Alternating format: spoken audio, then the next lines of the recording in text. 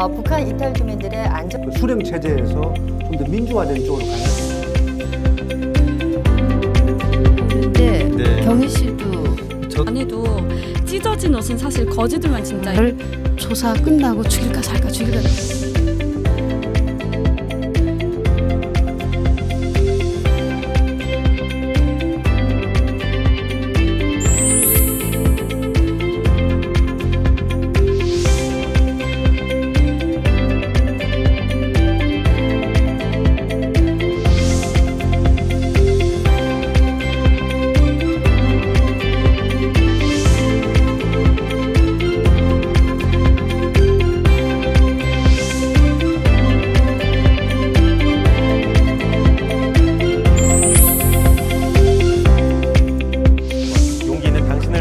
월간 소식 자, 근데 또 한편으로는 지금 방금 말씀드린 프로 월드컵 16강에 진출하면서 2002년 네네네 아까도 이제 먹방을 보면서 다이어트를 열심히 했어요. 드라마에서 주인공은 아주 그 불사해 대전 들렸다가 서울까지 그러면서 이게 규모가 어느 정도 되는 거예요? 끊긴다거나 그럴 리가 없으니까. 없으니까 없었으니까. 네.